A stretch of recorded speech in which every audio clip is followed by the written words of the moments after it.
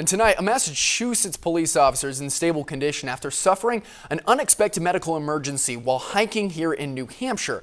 New Hampshire Fish and Game led the rescue effort and said the rescue attempt was one of the hardest they experienced due to the weather and the need of more rescuers.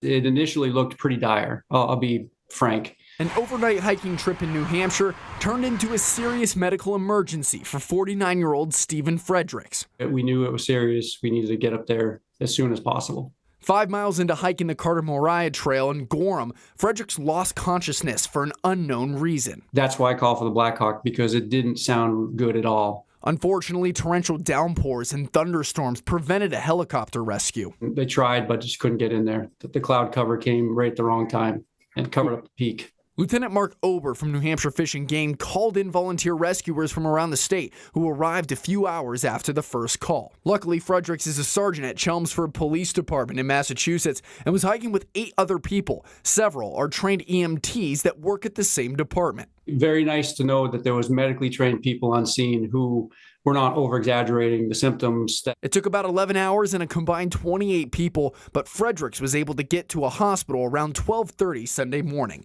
Chelmsford Police Chief Colin Spence said that Fredericks is in stable condition and said, "quote Our thoughts and prayers are with his family at this time. It was a great effort by the New Hampshire Fish and Game Department along with the Gorham Police Department."